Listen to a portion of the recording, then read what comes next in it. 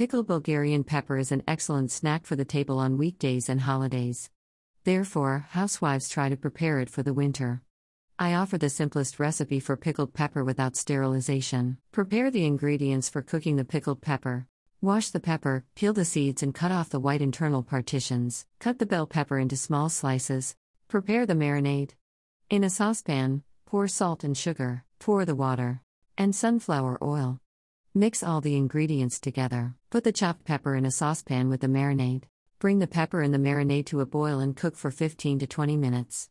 Then add the vinegar and mix well. Place the hot pepper in sterilized jars and roll up the lids. Turn it upside down and cover it with a blanket. Keep in a blanket until the cans are completely cooled. Store the pickled peppers in a cool room.